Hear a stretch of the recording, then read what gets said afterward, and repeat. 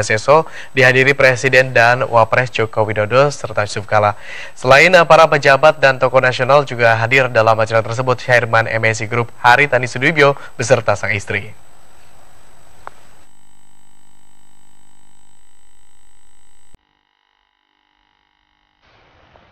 Pernikahan anak Kepala Badan Intelijen Negara, Bin Jenderal Polisi Budi Gunawan dan Kepala Badan Narkotika Nasional atau BNN Komjen Polisi Budi Waseso di Hotel Bidakara Jakarta Selatan dihadiri Presiden dan Wapres Joko, Jokowi dan JK, termasuk Chairman MSI Group Haritanu Sudibyo dan Liliana Tanu Sudibyo, istrinya. Selain itu, para menteri, pejabat negara, dan tokoh nasional juga hadir dalam acara tersebut. Dalam pernikahan itu, Presiden Jokowi dan Ketua Umum MUI Kiai Haji Ma'ruf Amin menjadi saksi untuk mempelai laki-laki. Adapun Wapres JK bersama Mendagri Cahyokumolo menjadi saksi untuk mempelai perempuan. Dalam sambutannya, Kiai Haji Ma'ruf Amin mendoakan agar pasangan Nindya Hervianto bisa langgeng dalam menjaga hubungan suami istri.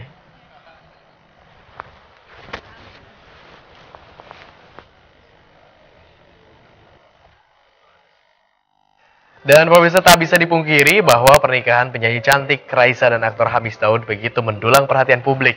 Bahkan penggemar keduanya menobatkan hari pernikahan Raisa Hamis sebagai hari patah hati yang menjadi topik utama di sejumlah jejaring sosial.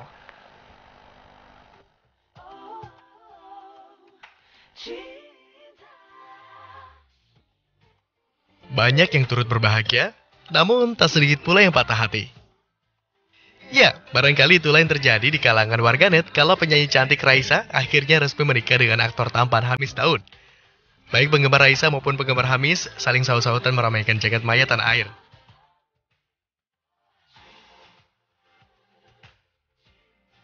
Bahkan, warganet menobatkan hari pernikahan pasangan ini sebagai hari patah hati nasional yang menjadi topik utama di sejumlah jejaring sosial. Waduh,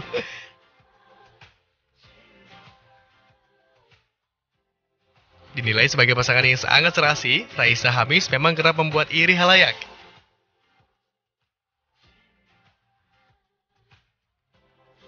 Keduanya resmi menyatukan hati 3 September lalu dan menyita perhatian setiap mata.